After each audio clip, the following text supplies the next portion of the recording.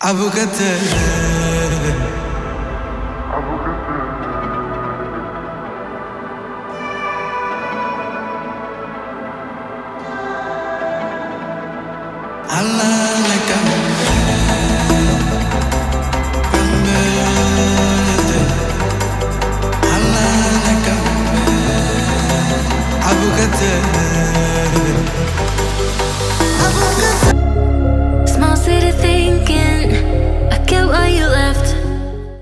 Anticlímax. Essa é a palavra que vocês estão procurando para descrever esse corte abrupto que eu acabei de fazer e que causou certamente uma estranheza em algum de vocês. Sensação parecida muitos droneiros sentiram quando a DJI resolveu interromper a produção da linha Phantom e cancelar o lançamento do Phantom 5, mesmo sem ter ainda nenhum substituto à sua altura. E assim como eles, eu também nunca me conformei completamente com essa decisão. Por esse motivo, no ano passado eu iniciei um exercício de imaginação de como seria esse drone, o que no final das contas acabou se transformando num projeto aqui do canal. Esse aqui é o segundo episódio dessa saga. Não, pera aí, pessoal, vamos mudar um pouquinho a dinâmica. Eu quero nesse vídeo aqui tentar uma coisa diferente, tá? Deixa eu subir aqui a mesa. Eu acho que vocês não precisam ficar olhando só pra minha cara. Então o que, que eu vou pedir pra vocês? Eu vou pedir que vocês assistam esse vídeo aqui. E se vocês gostarem desse tipo de vídeo, pra esse tipo de vídeo... Então, ficou estranho isso. Mas a minha ideia era pegar aqui uma segunda câmera pra mostrar pra vocês as coisas de uma forma que mais fácil, né? Eu acho que fica mais fácil pra vocês verem do que eu ter que depois ficar mostrando coisinha por coisinha pra câmera, tá? É, vocês estão vendo que ali tem uma impressora 3D, não deem bola pra ela e ignorem aquilo ali é de um outro projeto que eu tô fazendo. Na verdade, não é um projeto é, do canal, tá? É um projeto pessoal meu. Ó, é isso aí que eu tô fazendo, ó. É, isso aí é uma moto de um construtor, acho que ele é norte-americano, e eu tô fazendo uma moto igual. Com um amigo, a gente tá fazendo duas motos dessas aí, inclusive lá no canto lá estão os, os pneus, né? E eu tô imprimindo o quadro na 3D. É isso aqui que ela tá imprimindo, ó. E aí, depois que eu fizer essa impressão, ela vai servir como um gabarito para que depois seja feito em aço, tá? Inclusive, digam aí também nos comentários se vocês querem que eu bote esse projeto aqui no canal. Não tem problema, eu boto. Eu boto lá projeto paralelo, alguma coisa assim. Não tem a ver com drone, mas sei lá, talvez seja legal, né? Se vocês quiserem, a gente faz. Mas, voltando aqui pro nosso vídeo, como eu falei, esse aqui é o segundo vídeo. Lá no primeiro eu mostrei para vocês como que a gente chegou nisso aqui. Na verdade, não nisso aqui, né, pessoal? Eu mostrei para vocês como que a gente adaptou esse shell aqui para as nossas necessidades, né? Como a gente não vai ter gimbal, então ele não precisava de trem de pouso e aí, digamos que foi necessário um trabalho de funilaria para conseguir chegar nesse resultado aqui. Eu sei que hoje é sábado de carnaval, mas eu tenho a esperança de que alguns de vocês peguem leve e consigam assistir esse vídeo. Também se não conseguir assistir no sábado, não tem problema, assiste no domingo, né? Vai acordar tarde, assiste aí enquanto estiver almoçando, comendo churrasquinho de domingo.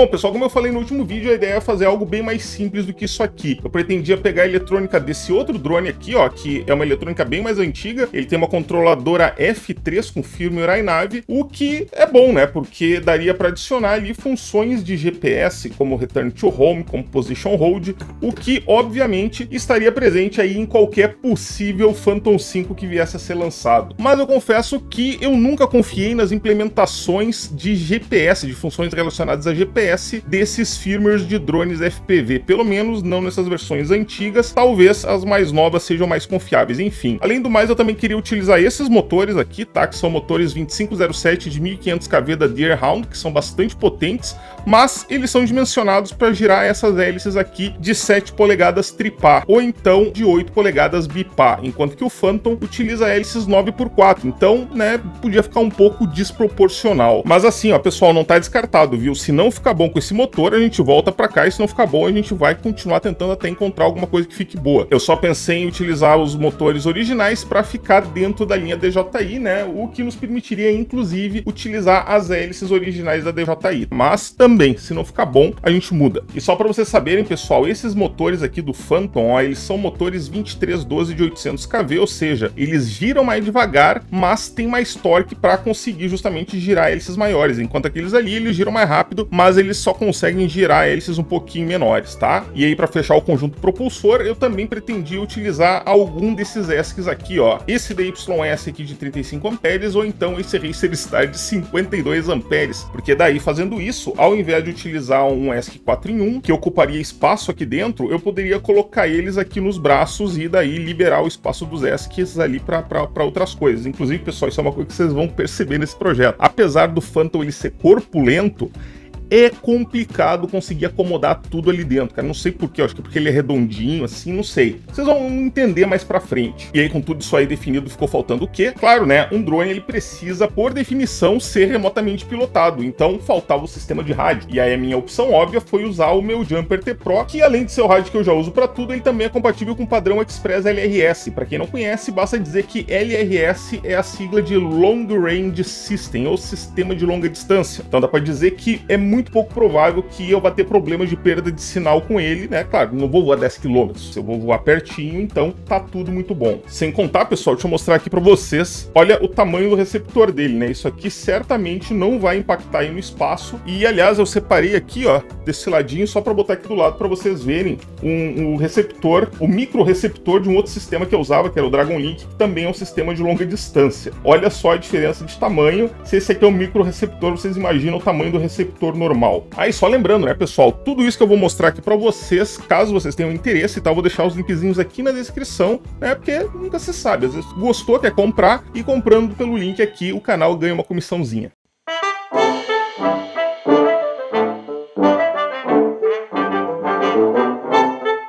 Pessoal, assim, apesar de parecer que já tá tudo muito bem definido, eletrônica e tudo mais, a verdade é que esse projeto aqui, tipo, ele não tem compromisso com nada. A gente pode mudar qualquer coisa que a gente queira a qualquer momento, e foi o que eu fiz diversas vezes. E bem nessa época aqui que eu tava dimensionando, decidindo o que, que eu ia fazer, que foi lá por novembro do ano passado, a DJI finalmente lançou o que? As aguardadas O3 Air Units. E pessoal, esse aqui foi o real motivo de eu ter mudado tanto o projeto. Por quê? Porque daí eu ia conseguir adicionar transmissão de vídeo com uma qualidade muito melhor, além de resolver resolver um outro problemão meu, que era a estabilização da imagem dele, que eu tava quebrando a cabeça para resolver, eu tinha pensado até em colocar de algum jeito aqui a minha Action 2 nele, cara, ia ficar um negócio meio estranho, então eu percebi que se eu comprasse uma O3, eu ia conseguir resolver isso aí de uma forma fácil. E, geralmente, numa situação dessas, o que, que eu faria? Eu ligaria lá pro André da Fly Pro, como vocês sabem, é patrocinadora master aqui do canal, e provavelmente ele conseguiria resolver o problema para mim, mandando uma Air Unit pra gente brincar com ela. O problema é que a Multi, que é a importadora oficial da DJI, ela não importa Air Units aqui pro Brasil. Então, as autorizadas não tem para vender. E aí, o que eu tive que fazer? É engolir o choro e sentar na jaca. Fui lá e comprei uma Air Unit aqui para nós. E por que que eu digo sentar na jaca, pessoal? Porque a partir do momento que eu gastei R$ 1.400 comprando isso aqui, eu aceitei o fato de que essa série aqui ela ia ser deficitária, né? Ela não ia se pagar, porque simplesmente não tem jeito de, desse vídeo aqui monetizar e conseguir pagar essa conta. Então, é prejuízo, mas agora já é tarde. O único problema que me restou daí foi não deixar a patroa descobrir que eu tinha feito esse investimento. E aí, o que, que eu fiz? Publiquei esse videozinho aí no Instagram e no TikTok. E para minha surpresa, cara, é, o pessoal gosta de uma bobagem, né? No TikTok esse vídeo já teve quase 800 mil views e no Reels lá do Instagram tá beirando já os 500 mil views, cara. É impressionante. Daí eu faço uns vídeos super bem produzidos aqui, dá 4, 5 mil views, vai entender. E pessoal, depois que a série Unity chegou, fiquei tão animado com, com a mudança do projeto que eu esqueci até de fazer o review, né? Um monte de canal correndo para fazer review, eu com ela aqui esqueci. Aliás, ela nunca foi ligada, viu, pessoal? ela tá aqui dentro só esperando ser instalada pra gente ver como é que é. Tô curioso pra caramba, mas nós vamos fazer isso aí junto. E aí agora falando do projeto, pessoal, com a Air Unity em mãos, me chamou a atenção um adesivo que veio colado dos dois lados dela, e está dos dois lados, quer dizer que é para a pessoa ler mesmo, dizendo para instalar ela num lugar ventilado, porque ela esquenta bastante. E óbvio, né, como é que eu não me antecipei a isso? Tô aqui segurando essa Action 2 aqui com dois dedinhos, não é porque eu sou delicado, é porque tá quente. Então vocês vejam aí o tamanho do meu problema, porque se a minha ideia era deixar um Phantom lisinho, sem nada aparecendo, como é que eu ia garantir um fluxo de ar? Então isso aí deixou bem claro que eu ia ter que mudar o projeto. E eu já vou explicar para vocês por que, que eu acabei optando por essa solução aqui, entre tantas outras possíveis, mas antes eu só preciso falar sobre um outro problema que também contribuiu para que eu chegasse nessa solução.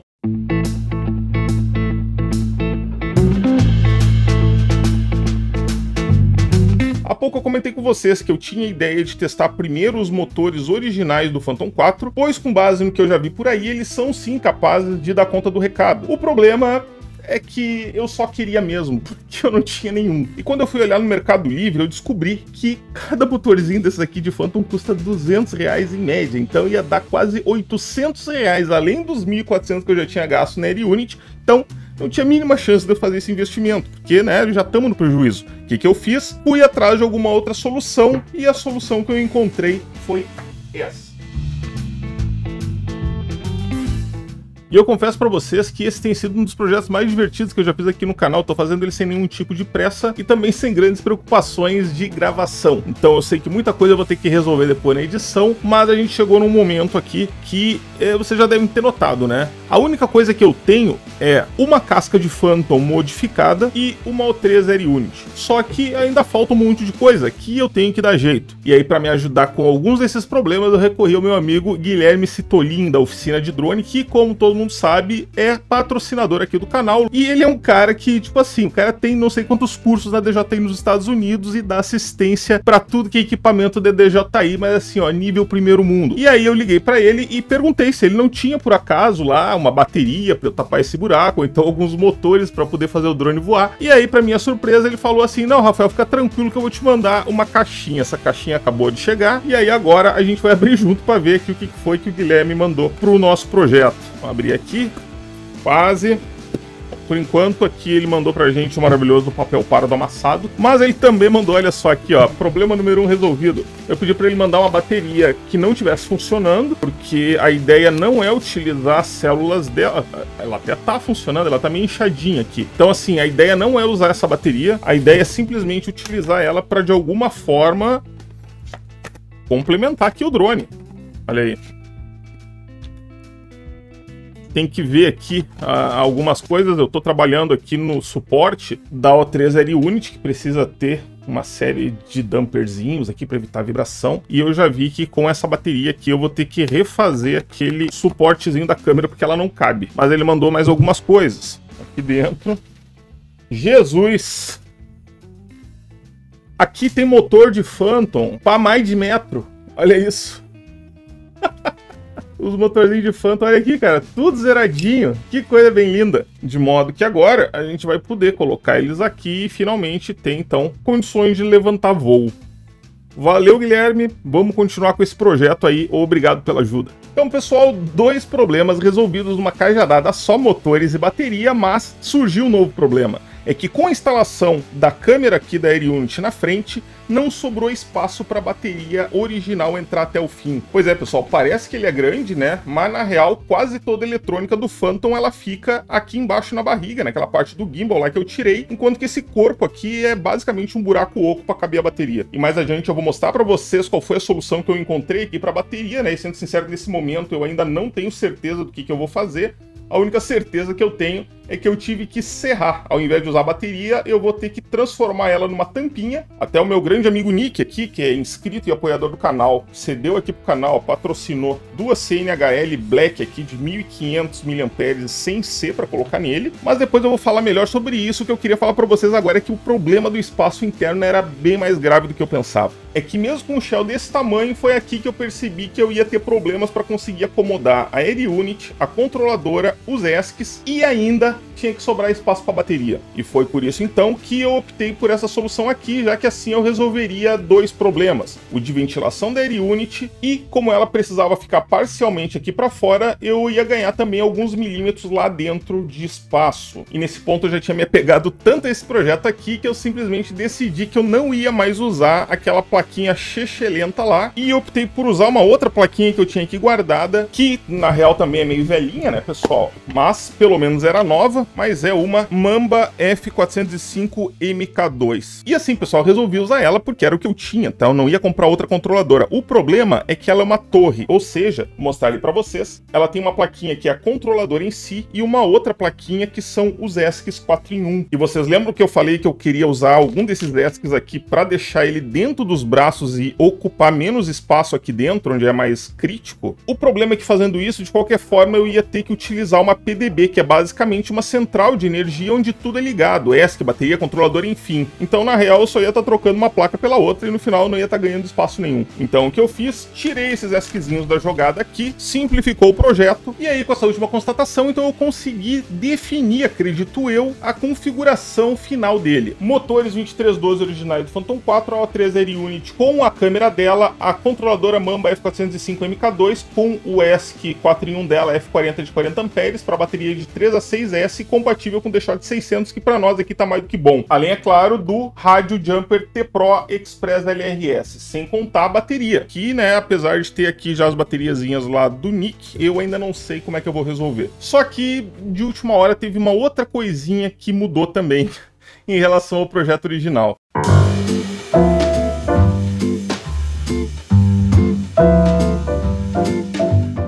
Pode ser que alguns de vocês estejam se perguntando, porra, cara, um projeto tão legal, por que, que tu vai usar o T-Pro se tu tem uma O3, né? Por que, que tu já não usa o DJI FPV Controller 2? Por dois motivos. O primeiro é que eu não tenho um DJI FPV Controller 2 e o segundo é que eu tenho um T-Pro. Mas, cara, sabe aquele diabinho que fica buzinando na orelha do cara? Pois é. Tinha acabado de fazer uma feirinha, o canal tava com dinheirinho em caixa, o DJI-FPV Controller 2 que eu usava aqui com o meu avatar era do Bruno Floripa Fly, o avatar dele chegou, ele pediu de volta, eu fiquei sem rádio. E ficar voando só de motion controller com ele é meio complicado. Então eu pensei, cara, quer saber? O Ica tá no site da Fly Pro, eles estavam vendendo 1.989 reais. Pô, mesmo preço que até pouco tempo atrás estava sendo vendido no AliExpress, mas com a diferença que chegaria aqui em três dias. E, cara, comprei. Tá aqui ele, ó. Inclusive, lacradinho. Acho que ele tá aqui já faz uns dois meses, só esperando o momento certo de fazer o unboxing. E eu acho que agora é o momento certo de fazer esse unboxing.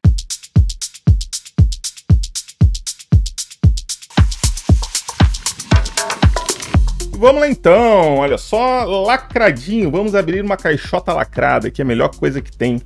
Olha aí, Vai pra lá, plástico. Vamos ver o que, que, tem aqui dentro desta maravilhosa caixota. Para início de conversa, nada de bolseta, né? A boa notícia é que a gente sabe que é um produto bom, né? Então a gente não vai precisar de bolsetas para ficarem nos consolando. Vamos direto pro produto. Aqui tem alguns papeizinhos que não importam, uma sílica, os stickzinhos, um bagulhete aqui que eu acho que é para não afundar a caixa no transporte. É, provavelmente é isso, não serve para nada. E o rádio. Acabou, esse aqui foi o unboxing mais rápido que eu já fiz na vida.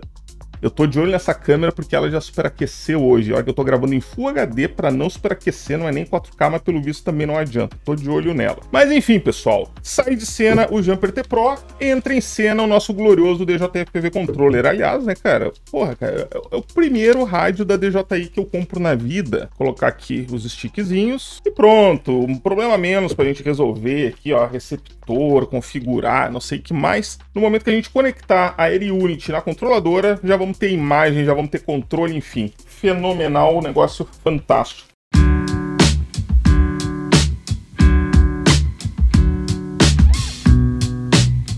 Bom, pessoal, então agora que a gente finalmente definiu essa engronha, cara, vamos voltar aqui pro projeto. Qual é que é o lance?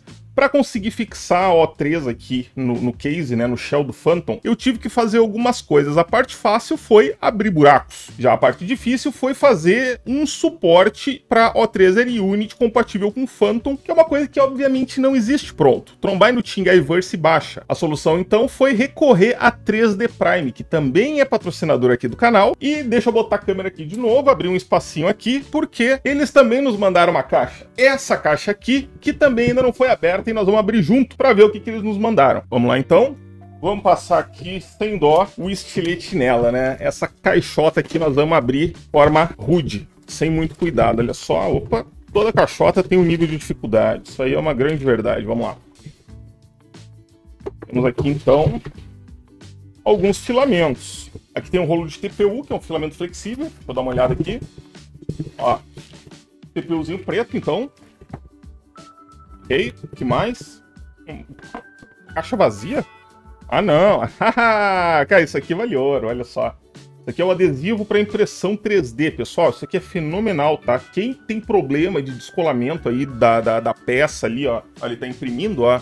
Então a peça ela tem que aderir na mesa. Com PLA não é tão problemático, mas se tu estiver imprimindo, por exemplo, em ABS, tu vai precisar de um adesivo desse aqui, mas ele também funciona com o PLA, tá bom, pessoal? Legal. O Anderson lembrou de mandar aí o adesivo para mim. Valeu, Anderson. Famoso bonitão. Ele me mandou aqui também esse PLA HT Impact ABS Lite, que é um PLA que eu vou mostrar aí para vocês agora e tem algumas características diferentes aí em relação ao PLA normal, tá? Esse aqui eu pedi para ele me mandar porque eu queria testar mesmo. E aí então, né, vamos ver. E por último aqui, também aqui um HT Impact, só que daí branquinho. Show de bola! Hoje é o dia das caixotas, hein? Que espetáculo. Deixa eu deixar isso aqui agora assim para ficar bonitinho aí. Legal.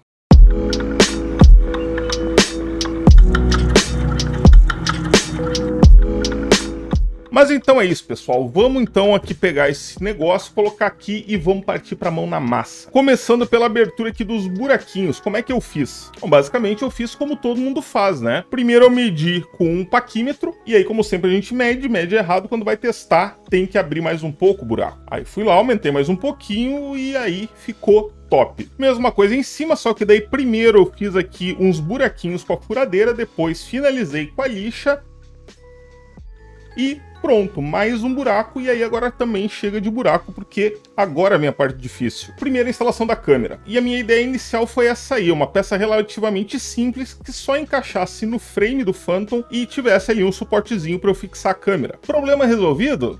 Claro que não, né, pessoal? Ia ser fácil demais. O problema é que lá no manual da O3R Unity também dizia, eu não tinha visto, que tu precisa isolar as vibrações normais do drone para que não interfiram na gravação. E como é que se isola a câmera da vibração do drone? com dampers, que são essas borrachinhas aqui, ó, que por sorte eu tinha duas guardadinhas, e aí depois de quebrar um pouco a cabeça eu cheguei nesse resultado aí, ó.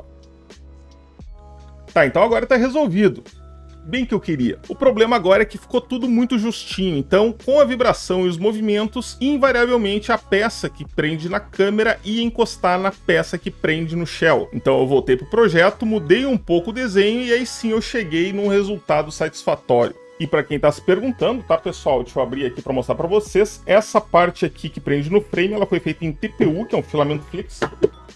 Então eu consigo encaixar ela aqui sem grandes problemas, ali, viu? É flexível. Enquanto que essa aqui foi impressa em PLA, que aí é um material rígido, tá? Tipo um plástico. E olha aí, ó. Funciona legalzinho, acho que vai dar conta do recado.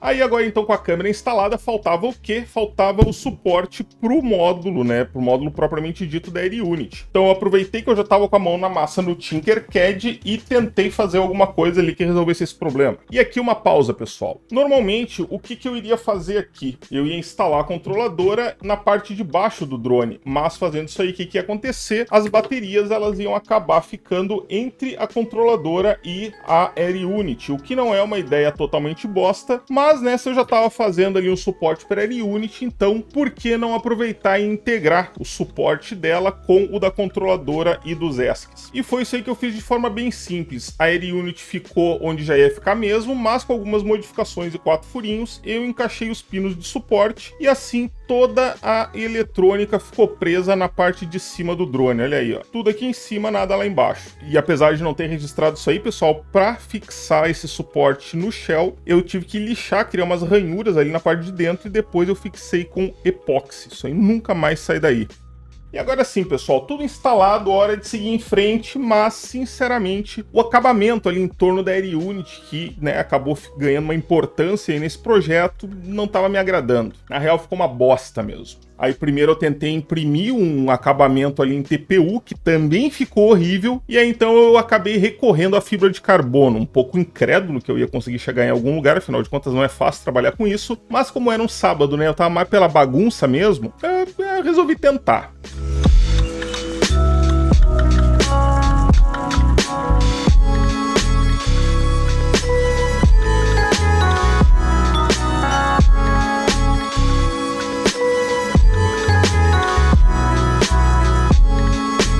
E eu ainda não sei se eu vou usar isso aqui mesmo, se vou tentar alguma coisa diferente. Ficou legalzinho até, ó. Ficou, né? Ficou bacana. Mas eu só vou voltar a pensar nisso aqui lá na frente, quando já tiver resolvido aí boa parte dos outros problemas.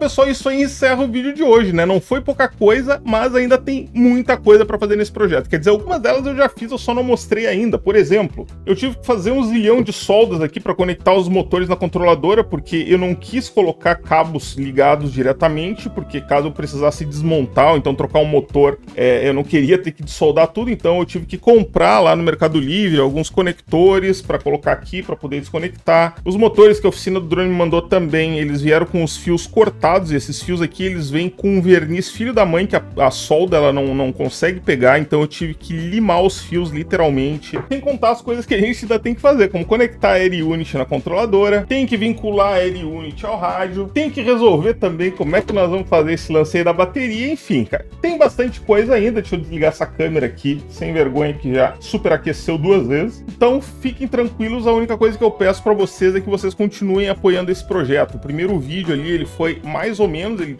teve menos acessos do que a média do canal, tá? Eu fiquei um pouco preocupado com isso. Até por isso, nesse vídeo aqui eu dei uma acelerada na edição, porque o primeiro me tomou muito tempo, então esse aqui eu tentei fazer de uma forma diferente para tomar menos tempo. Então, inclusive, se vocês gostaram desse formato, digam aí. Se não gostarem, também digam aí, porque daí a gente volta pro formato antigo, tá? Vai depender de vocês. Era isso então que eu tinha para falar para vocês por hoje. Na verdade, agora eu vou editar o vídeo, eu vou ver se ficou bom, que ainda tem o risco de ter ficado uma merda e daí eu não vou publicar, vou ter que gravar de novo e hoje é sexta-feira, mas com certeza vai ter vídeo no sábado para vocês. Feito, pessoal, é isso aí então, nos vemos no próximo vídeo. Um abraço.